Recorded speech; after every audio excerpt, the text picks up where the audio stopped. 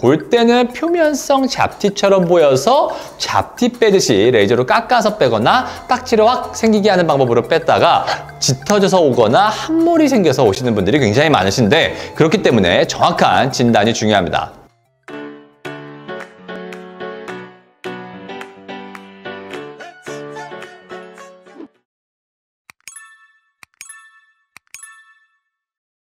안녕하세요. 피부과 전문의 심현철입니다. 자, 우리는 흔히 얼굴에 갈색이나 검은색으로 보이는 것들, 튀어나와 있는 것들이나 평평한 것이나 모두 점이라고 부릅니다. 하지만 이 점들도 각각 종류가 다르고 그것에 따른 치료 방법도 각각 다릅니다. 자, 오늘은 이 점이라고 말하는 것에는 어떤 종류가 있으며 어떻게 치료하는지에 대해 알아보겠습니다. 점은 의학 용어가 아닙니다. 자, 색소 침착이 있는 것들을 싸잡아서 말하는 것이기 때문에 얼굴에 점이 있어요 라는 것은 피부 내 멜라닌, 즉 색소가 있는 것을 포괄적으로 말하는 개념입니다. 자, 그래서 점의 종류는 굉장히 다양한데 가장 중요한 것은 진단입니다. 자, 왜냐하면 진단에 따라서 치료가 완전히 달라지기 때문입니다. 점은 이렇게 다양한 색소 질환을 포괄적으로 말하는 것이므로 하나하나 다 언급하기에는 너무 많기 때문에 저는 대략적으로 멜라닌, 즉 색소의 위치에 따라 점을 나눕니다. 자, 피부는 표피와 진피로 나누기 때문에 표피, 즉 표면에 색소가 존재하는 경우와 진피, 즉 심부 쪽에 존재하는 경우로 좀 이해하기 쉽게 나눠보겠습니다. 제가 항상 드는 비유가 있는데 예를 들어 연못이 있습니다. 자, 이 연못을 피부의 표면이라고 하고 물고기가 아래 떠다니는데 이를 색소라고 하겠습니다. 자, 물고기가 연못, 즉 피부 표면에 떠다니면 연못 위에서 바라보면 어떻게 보일까요? 자, 물고기의 경계가 뚜렷하고 명확하게 보이겠죠. 자, 반대로 물고기가 연못의 깊은 곳에 떠다니면 연못 위에서 바라보면 어떻게 보일까요? 이게 물고기인지 바위인지 식물인지 감별이 잘 안 되죠. 자, 마찬가지로 색소가 피부의 표면에 있는 경우에는 좀 더 경계가 명확하고 확실하게 보이고 좀 더 갈색빛에 띄고 또 색소가 피부의 심부, 즉 진피층에 위치하는 경우에는 색소가 좀 더 경계가 blurring, 즉 흐릿흐릿하게 보이고 빛의 틴들 효과로 색이 좀 더 bluish to grayish, 즉 청회색 빛을 띠는 경향을 보입니다. 자, 점은 진할수록 빼기가 어렵나요? 라는 질문이 있는데 예를 들어 볼에 두 개의 점이 0.5cm 크기의 점이 있다고 가정해 봅시다. 자, 하나는 진하고 경계가 명확한 점이고 다른 하나는 점이 흐리고 경계도 불명확하고 색깔도 갈색이라기보다는 잿빛 색깔들이 섞여 있다고 가정해 봅시다. 자, 그리고 두 점 모두 한 번도 치료한 적이 없었던 점이라고 가정해 보겠습니다.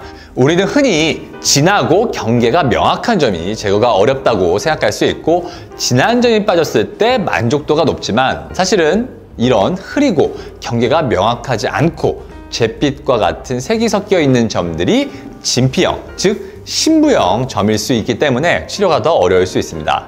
자, 물론 여기서 표면형, 즉 표피형 색소들도 초기나 아니면 색소 치료 이후에 경계가 좀 흐릿흐릿하고 신부형처럼 보이는 경우들도 있는데 이것은 치료하시는 피부과 선생님께서 잘 판단해서 치료하실 내용이니 이것까지 아실 필요는 없습니다. 점의 종류는 너무너무 많습니다. 자, 웬만한 색소 질환이 다 포함되고 사람에 따라서 웬만한 갈색, 검정색으로 보이면 다 점이라고 말하기 때문에 흔하게 관찰되는 것들만 알아보겠습니다. 자, 첫 번째는 색소성 모반입니다. 자, 우리가 일반적으로 알고 있는 작고 동그란 점입니다. 자, 선천성과 후천성으로 나뉘는데 우리가 흔히 말하는 것은 후천성에 해당됩니다. 자, 두 번째는 주근깨입니다. 주근깨는 경계가 명확한 작은 갈색 반점들이 햇빛 노출 부위에 생기는 특징을 가지고 피부가 비교적 하얀 사람들에게서 잘생깁니다. 자, 병원에서 40대 이상인 분들이 원장님 제가 골프 친 다음부터 주근깨가 생겼어요 하는 분들이 계신데 보통 주근깨는 어렸을 적부터 생기는 특징을 가집니다. 자, 세 번째는 흑자입니다. 햇빛을 많이 받는 부위에 생기는 경계가 명확한 갈색 반점입니다. 자, 커다랗고 경계가 명확하게 생긴 경우들도 있지만 자발성 흑자들 예를 들어 센트로페이시아 렌티지노시스와 렌티지노시스 프로프사 같은 경우에는 볼 때는 표면성 잡티처럼 보여서 잡티 빼듯이 레이저로 깎아서 빼거나 딱지를 확 생기게 하는 방법으로 뺐다가 짙어져서 오거나 함몰이 생겨서 오시는 분들이 굉장히 많으신데 그렇기 때문에 정확한 진단이 중요합니다.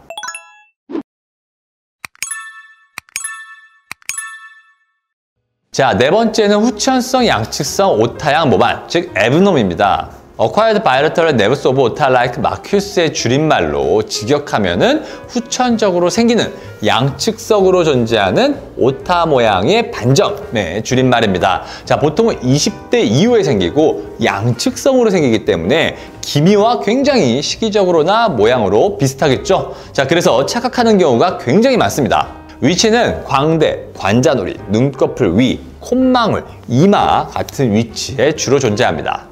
다섯 번째는 기미인데 기미는 굉장히 유명한데 양측성으로 생기는 색소 침착으로 유전성이 다른 색소들보다 굉장히 강합니다. 자, 기미와 이 에브놈, 앞에서 말한 에브놈의 감별 포인트는 기미는 하얀 시타포 위에 간장꿈을 흘린 것처럼 즉 약간 널대대하게 미만형으로 퍼져 있는 형태를 보이고 에브놈은 작게 동글동글동글동글 모여 있는 경우들이 많습니다. 자, 물론 놈도 중증형 타입의 경우에는 동글동글한 것들이 모여 약간 널대대하게 기미와 유사한 형태를 띠는 경우들도 있지만 이런 것까지 일반 분들이 감별하실 필요는 없습니다. 자, 앞에 두 개 중에서 에브놈은 기미로 오인되는 것뿐 아니라 그냥 표면성 잡티병변으로 오인되는 경우가 많은 것이 문제입니다. 자, 그래서 저희 병원에서도 이것을 다 한 번에 깎아버리거나 고출력 치료로 치료받고 오셔서 색소 침착 및 피부 함몰까지 생겨서 오시는 분들이 굉장히 많습니다. 자, 여섯 번째는 염증 후 색소 침착입니다. 이 염증 후 색소 침착은 뾰루지나 여드름이 생겼다가 아문 자리나 손으로 건드렸던 부위, 뭐 레이저 치료를 했던 부위, 스케일링 같은 물리적 자극을 준 부위 등 여러 가지 이유로 염증이 생기고 이후에 색소 침착이 생기는 것을 말합니다. 자, 기본적으로는 색소가 표면보다는 심부에 있는 경우가 대부분입니다. 자, 일곱 번째는 편평사마귀입니다. 굉장히 흔하고 잡티라고 알고 있는 것 중에 생각보다 많은 비중을 차지합니다. 자, 제가 평평사마귀에 대해서 두 가지를 말씀드리는데 첫 번째는 진료 중에 농담 삼아 뒤져보면 없는 사람 거의 없다라고 말할 정도로 흔합니다. 자, 두 번째는 오늘이 인생에서 가장 평평사마귀가 적은 날입니다. 즉, 얘네들은 거의 저절로 사라지는 것이 없이 크기가 커지거나 주변으로 번집니다. 자, 보통 갈색이 살짝 윤기가 되어 있는 형태를 보이는데 사람에 따라서 살색에 가깝거나 오히려 살짝 저색소를 보이는 경우가 있어서 진단이 쉽지 않기 때문에 피부과 주치의 선생님을 통해 상담을 듣는 것이 중요합니다. 자, 여덟 번째는 미립종, 비립종, 한관종입니다. 이 미립종, 비립종은 하얀색 알갱이처럼 생겨 있지만 병원에 오실 때는 그것도 하얀 점이 생겼다라고 뭉뚱그려서 표현하시는 분들이 많습니다. 자, 비립종의 경우에는 표피에 작게 생기는 낭종으로 주로 1mm 내외의 작은 흰색이나 노란색 공 모양의 주머니로 안에는 각질이 차 있는 형태를 띱니다. 자, 피부에 얕은 층이 위치하기 때문에 제거가 비교적 간단합니다. 한관종은 땀샘에서 기원하는 양성 종양으로 자 비립종에 비해 더 깊은 부위에 생깁니다. 자 생기는 부위는 눈 주위를 포함해 뺨, 이마 등 얼굴 부위에 호발하고 다른 부위에도 생길 수 있습니다.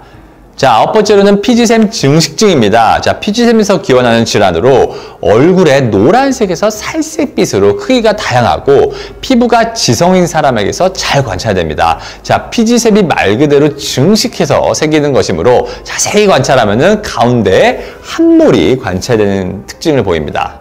자, 열 번째는 검버섯입니다. 검버섯은 경계가 비교적 뚜렷하고 표면이 살짝 융기되어 있는 형태를 띱니다. 자, 햇빛 노출과 관련 있는 것으로 알려져 있기 때문에 얼굴에 호발하고 또 나이가 들수록 발생 빈도가 높아지기 때문에 40에서 50대 이상에서 주로 관찰됩니다. 자, 즉 햇빛 노출 부위에 높은 연령대에서 주로 관찰됩니다. 지금까지 우리가 흔히 점이라고 부르는 것들 중에 대표적인 것들만 추려서 살펴봤습니다. 자, 이렇듯 점이라고 흔히 알고 있는 것들의 종류는 사실 너무나도 다양하기 때문에 정확한 진단이 중요합니다. 자, 그래서 색소 질환의 경우에는 뭐 울세라 뭐 600샷 뭐 이런 것처럼 무슨 뭐 피코 토닝 3000샷 무슨 제네시스 토닝 1000샷 이런 식의 어떤 레이저 기계 몇 샷 이런 것이 의미가 있지 않습니다.